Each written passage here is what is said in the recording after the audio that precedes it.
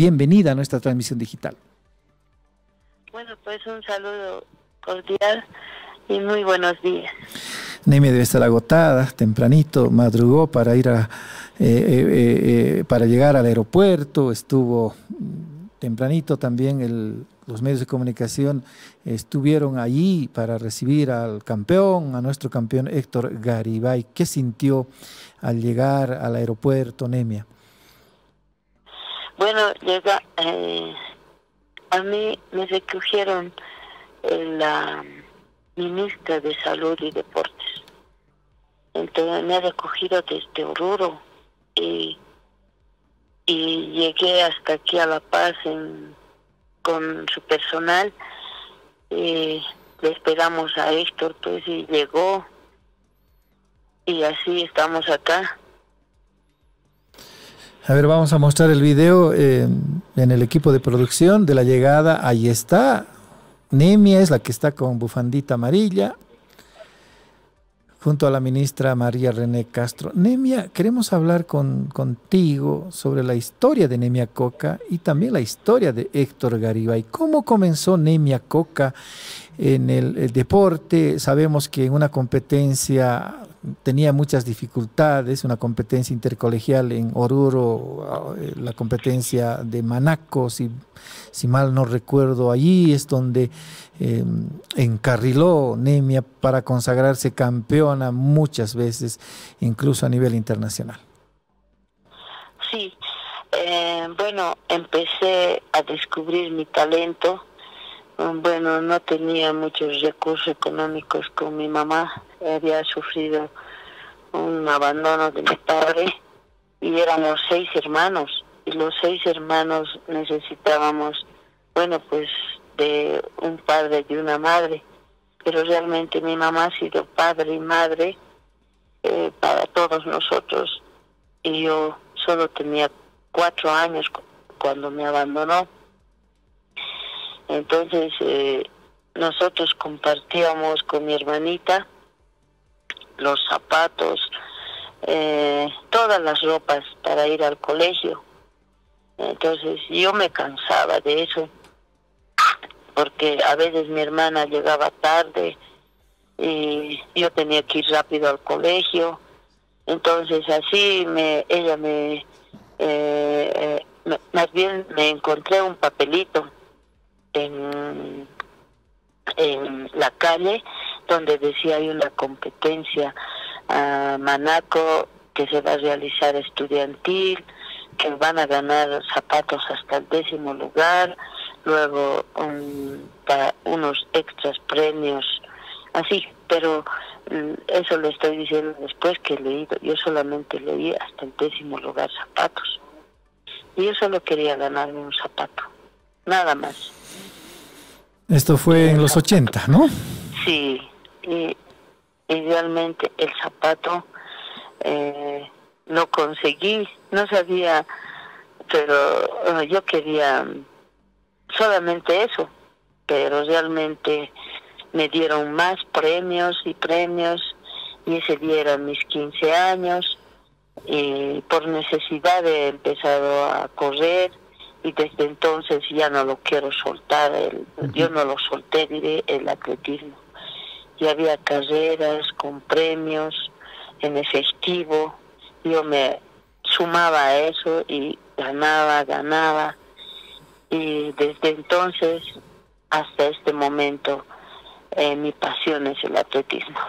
Ha sido campeona varias veces y nos puede recordar, Nemia, eh, campeones, ¿en qué competencias resultó esta gran atleta orureña? Sí, eh, me fui a mi primer internacional ha sido Guayanillas, Puerto Rico. y clasifiqué para esa competencia. Y bueno, ahí también la visa me negaron porque eh, no tenía suficientes garantías. Eh, ahí es donde me puse más triste porque tampoco no tenía la visa hay que sacar en La Paz y yo soy orureña y no tenía dinero para ir hasta La Paz y me fui a buscar a mi padre y a rogarle y apenas cinco bolivianos me dio nada más, y apenas. Y luego me fui con esos cinco bolivianos hasta La Paz. Y en La Paz me dieron, eh, me fui a la visa y en la visa me negaron porque les dije la verdad. Mi mamá, ¿cuánto gana tu mamá? ¿Qué profesión tiene?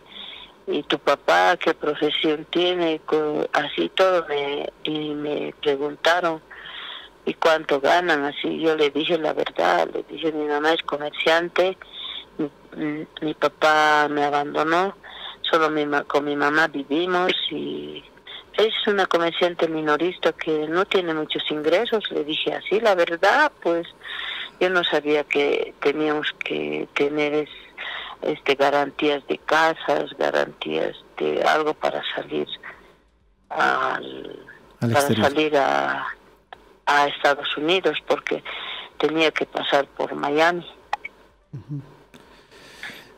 Y luego vinieron otros títulos, otras competencias, también estuvo en la prueba de San Silvestre, debe ser uno de los eh, espacios que más debe recordar Nemia Coca.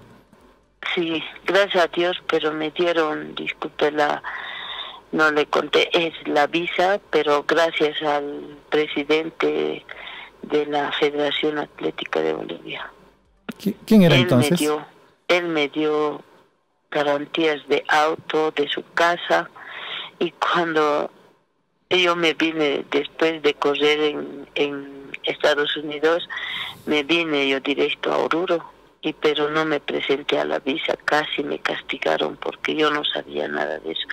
Y me dice el presidente de la federación, me van a quitar mi casa, mi auto, ¿qué te pasa? Ya volá hasta La Paz, no sé cómo harás, pero tienes que presentarte en la embajada de Estados Unidos. Yo, ay, así, esa anécdota tengo. y ha sido muy buena persona el señor Fernando. Fernando se llamaba eh, Fernando Paz, no me acuerdo su apellido completo, pero era vicepresidente eh, de la Federación Atlética de Bolivia. ¿Qué títulos recuerda Nemia, nacionales e internacionales, si nos puede describir uno a uno? Bueno, eh, después me fui a, a este al Mundial de 15 kilómetros en Río de Janeiro, luego me fui a Nueva a la San Silvestre, auspiciada por el gran Mario Mercado Vaca Guzmán, porque él me ha pagado mi pasaporte, me ha financiado um, estar en un hotel, um, estadía, incluso me dio dinero para alquilar un, un, un coliseo, un estadio, así para que entrene.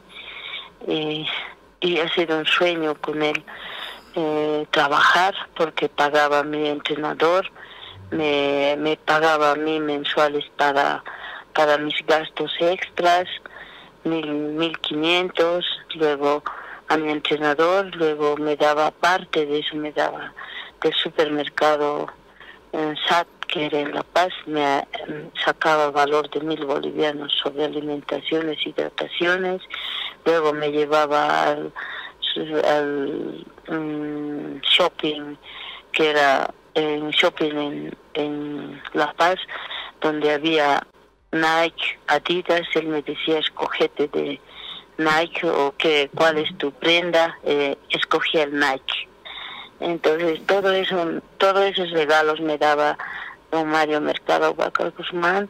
Solo duró dos años y cuando murió me puse muy triste y, y bajó mi, también de mí las ayudas y no pude avanzar más, pero fui a, al Mundial de Francia de media maratón, al Mundial de media maratón Oslo, Noruega, así, eh, así sucesivamente a los Juegos um, Olímpicos de Atlanta del 96. Era un sueño, realmente un sueño realizado por mí, porque según a mis necesidades me he preparado, no tomaba hidrataciones, eh, no tenía nada, solo con pan y agua entrenaba. Eh, mi mamá me daba apenas el pito de cebada. Y así estábamos entrenando hasta que don Mario me echó eh, sentir muy feliz y, y solo era ha durado dos años nada más. Eh, así eso es lo que ha pasado conmigo. Ahora sí Nemia una historia muy triste pero los logros pueden eh, ser más que esas historias tristes y estas anécdotas. Cómo conoció a Héctor Garibay, usted tiene una escuela, tiene formación de talentos. ¿Cómo conoció especialmente a Héctor Garibay? Ah, bueno, a Héctor lo conocí cuando él estaba, eh, era futbolista, entonces tenía su, equipo de fútbol. Eh, se había lesionado y le había dicho su preparador físico o médico que vaya a hacer una rehabilitación trotando en el, trotando en el estadio. Entonces, como yo vivo en el estadio, porque muchos me decían que muchos eh, dirigentes de Oruro que vamos a hacer una casa eh, dentro del estadio porque esa es tu casa, me decían, y falta solo eso porque yo tarde y mañana vivo en el estadio. Entonces ahí lo conocí a él y daba vueltas y vueltas y vueltas en el estadio. Y cada día venía y yo también eh, lo veía, lo veía, mi esposo lo veía también. Y hasta que me dice mi esposo, invitarle a Héctor para que entre al club porque es muy bueno y eh, disimuladamente le cronometrado a cuánto daba la vuelta y tiene ritmo y es muy bueno me dice, y rápido va a aprender a entrenar, se va a habituar a los planes de trabajo que tenemos. Ya le dije, ya. Entonces le invité y me dijo, sí, está bien, voy a integrar, eh, pero, pero ¿qué me va a financiar? No sé, yo no tengo muchos recursos claro, yo te voy a ayudar a financiarte porque mi club tiene un poquito de, dinero porque mi esposo trabaja y él, su sueldo nos ayuda y podemos invertir en ti, le dije. Ya me dijo. Y la carrera 10K del, del expresidente Evo era pues famosa, que ganaban 14 mil, 13 mil, 12 mil. Entonces eh, yo le dije, corre esta carrera y luego del pasaje que yo te voy a dar, me lo devuelves ganando, le dije. Ya me dijo. Y si no ganas, te espero hasta que ganes, le dije. Ya. Y, y te voy a entrenar gratis y vas a tener también médicos que he conseguido que nos van a colaborar gratis, entonces vamos a rehabilitarlos más rápido. Y él me dijo, ya, y le presté el dinero de vuelo para ir hasta Tarija. El, ha sido el 2018 justamente que él apareció y su primera competencia es el 2018 en abril, aniversario de Tarija. Y ahí se, ahí vino. Y ahí así su primera competencia. Llegó sexto y ganó pues unos, creo, unos 11 mil. No, no, era 12 mil, algo así le ganó y él estaba muy contento de ganar y me lo devolvió los pasajes que invertí en el duelo. Y así nos conocimos y ya te dije yo te voy a llevar ahora a presentar un programa al, a la gobernación con el doctor mm, Santos Tito y ahora el gobernador actual Johnny Bedia, doctor Johnny Bedia, él es el que nos apoya ahora y sigue apoyándonos desde el 2016 entonces yo le dije, abrí este, este, eh, este programa donde nos va a financiar para nuestros, eh, para, para que vayamos a competir con roces internacionales, hacer la marca mínima exigida por la Federación Atlética de Bolivia, por la World Athletic, todo eso vamos a hacer marca mínima. ¿Estás dispuesto a entrenar fuerte? Sí, me dijo. Ya, entonces nos fuimos, le llevé a Lima, Perú. Era encantado, viajó con el grupo, les llevé unos seis o siete atletas a Lima, Perú. Y ahí es, a nivel del mar bajamos las marcas, Entonces, eh, solamente a nivel del mar podemos hacer la marca mínima exigida por la Federación Atlética o Sudamericana que nos pedía. Entonces, eso empezaba a hacer yo, persona, y le llevé ahí, luego a Uruguay, a nivel del mar, a Buenos Aires, les llevé a correr, y así él ha empezado a gustarle más, más, y le, deja, le llevamos más eh, a eventos más eh, comprometidos y entró a la selección del bolivariano, luego ahí, ahí viajó eh, y ahí se incentivó más, así lo conocí. Lindo gesto de parte de Nemia Coca. Su esposo también es deportista, así que no había problema en relación a la capacidad técnica que pudiera implicar la preparación de un gran atleta como es Héctor Garibay. Eh, Nemia, te transmito un tuit que ha publicado esta mañana el presidente del Club Bolívar, Marcelo Claure. Dice, querido Garibay, no sé cómo ponerme en contacto contigo. Ojalá leas esto. Con todo gusto sería tu sponsor para ayudarte en toda tu preparación para los próximos maratones. Estoy súper orgulloso de ti. Aparece un Mario Mercado Vaca Guzmán de Héctor Garibay. Eh, Nemia, ¿qué te parece? Wow, es hermoso. Porque a mí me ayudaba don Mario. Creo que eh, cómo nos une, ¿no? Porque don Mario me ayudaba a mí y ahora el mismo el mismo Club Bolívar le va a ayudar a mi atleta. Qué bueno, qué buena noticia.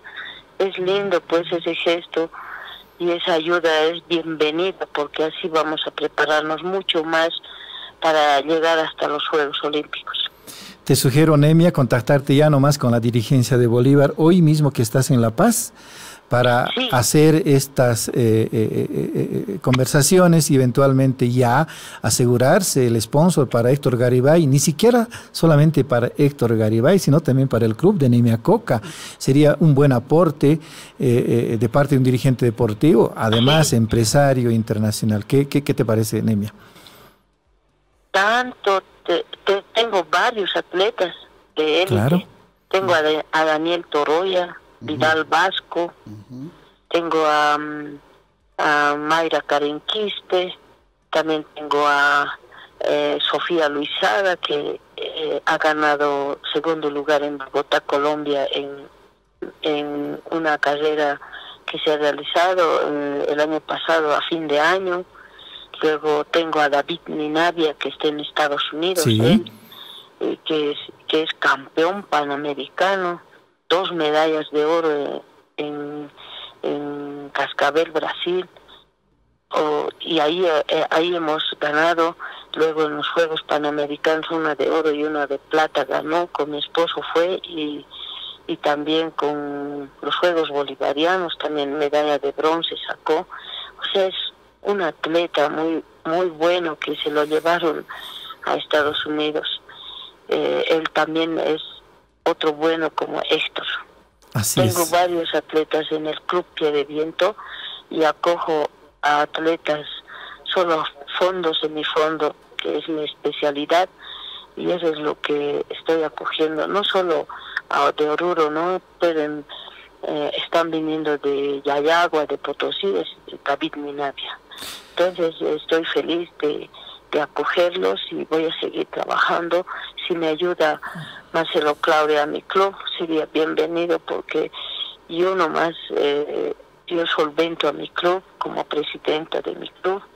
El sueldo que gano es un mínimo sueldo básico y con eso a veces les ayudo a mis atletas porque es difícil mantener atletas y hay que motivarlos también a los atletas yo solo les he motivado haciendo ese programa, consiguiendo pasajes internacionales, hotel y estadía, todo pagado por el gobernador actual, doctor Bedia. Eso, eso hago, pero en realidad para sus necesidades en efectivo ya no puedo, porque eh, necesito para que ellos ya dejen de trabajar. A veces mis atletas trabajan Mm, este, pelando papa, eh, en pensiones de garzones, así trabajan mis alumnos y, y se hacen eh, eh, y se esfuerzan para salir adelante por Bolivia. Y a veces no tenemos ayuda, por eso como le digo, y, y si el señor Claudio me ayudara a mi club sería un, un sueño para mí. Entendemos la emoción. Antonio Dalencia, mi compañero, quiere hacerle un par de preguntitas, por favor. No, solo quería, solo, quería decirle, Nemia, cómo está, un gusto poder conversar con usted, realmente un orgullo para Bolivia y eh, destacar el trabajo que hace ahora por nuestros atletas, destacar también a Héctor Garibay y decirle que eh, eh, no pierda esta oportunidad. El señor Marcelo Claure es una persona seria y si él está ofreciendo la ayuda para Héctor y para su club, tómela ya inmediatamente que con esto, como usted dice, se va a poder apoyar a todos los otros atletas que tiene usted y que también ya le han dado alegrías al país. Sí, sí son medalleros sudamericanos, panamericanos, espero que me apoye porque es difícil, ¿no? Mm, que eh, pedir como a la viceministra de Deportes que nos ha negado estar que en, en los Tuncas. Yo solo eso quería porque mientras se ponga al día del, la beca del Comité Olímpico falló en, en, natación y por, por, por, por uno pecan todos, dice que todos tienen que dar al mismo tiempo sus descargos y no dio, entonces por eso es que no han desembolsado la beca de olímpica de, del Comité Olímpico. Y, pero como no daba, entonces yo le dije, ah, yo llamaba a la viceministra, le llamaba, no me contestaba. Luego traté de hablar con sus técnicos y ellos me decían, no sé, no sé, no sabemos. Y con uno de los técnicos le dije, escúcheme por favor, ¿por qué no priorizan de Héctor? Es, es, mm, ha hecho el ciclo olímpico, ya está clasificado, el único hasta el momento entonces deben priorizar, no se busquen la forma de ayudarle a Héctor así. Pero me dijeron, no se puede porque tiene que, el atleta de natación tiene que traer y recién vamos a dar a todos. Entonces yo eh, eso quería explicarle a la viceministra y decirle que le ponga hasta el momento en los tuncas, y en los tuncas recibían tres mil, pero iba a ser en vano porque creo que hasta ahorita no le no desembolsa ni a los otros atletas, porque acabo de escuchar anoche a Jocelyn Camargo que hasta ahorita tampoco le están dando de los tuncas y me dijo, profe, no nos está dando, igual nomás iba, no iba a tener ayuda esto, eso me dijo anoche, entonces no debe ponerse las pilas, pero ahora en este momento eh, me buscó la ministra de Salud y Deportes bien. Ellos son donde nos han eh, acogido mm, eh, aquí en el hotel, nos pagaron todo. La ministra de Salud y Deportes, creo que se llamaba eh, licenciada María René. Castro, sí, María René Solo por ella vine aquí porque yo, sinceramente, si hubiera sido la viceministra, Ciro Beizaga no hubiera estado porque me ha defraudado no sé cómo no le va a dar a, a, un atleta entrar solamente a los tuncas. ¿Cómo? No entiendo. Eh, no es de ella su dinero. Es, eh, es eh, para eso está ese Ministerio de Deportes, para ayudar a todos los deportes. Así es. a todos aquellos que están sobresaliendo. Entonces, eso es donde más eh, me ha molestado de ella, eh, que no nos conteste, que no nos ah, escuche. y eso le ha molestado también a mi atleta Héctor y no queríamos saber nada ya del viceministerio de deportes. Una última pregunta, Nemi, si me permite, por favor. Eh, queríamos saber acá con Rubén cómo se ha sentido el momento en el que Héctor cruzó la meta ya en la carrera en México. Bueno, pues hemos entrenado bien para ganar. Eh, hemos entrenado fuerte, entonces él se sentía fuerte para correr una carrera. Y y la carrera era pues muy fuerte. Y yo le dije, no vas a correr así tan fuerte porque te vas a guardar las fuerzas para ir a los Juegos Panamericanos. Entonces yo le dije, ah, espera para, para, eh, para cuidarte para los Juegos Panamericanos. Y él me dijo, no, no, yo le dije que tiene que, tiene que eh, eh, mm, al ver con los negros que con los morenos y los kenianos que estaba corriendo Héctor me asusté porque porque dije yo ya va a ser una competencia muy fuerte y, y mire que los, los preparativos los entrenamientos ha dado resultado y qué bueno que él eh, él haya representado bien al país y, acompañado con el récord que, que creo que añazos que no lo han hecho y él lo hizo. Y eso hay que valorar. Héctor es un atleta de oro y bueno, pocos le han, le han valorado y espero que le apoyen eh, a esto para su preparación.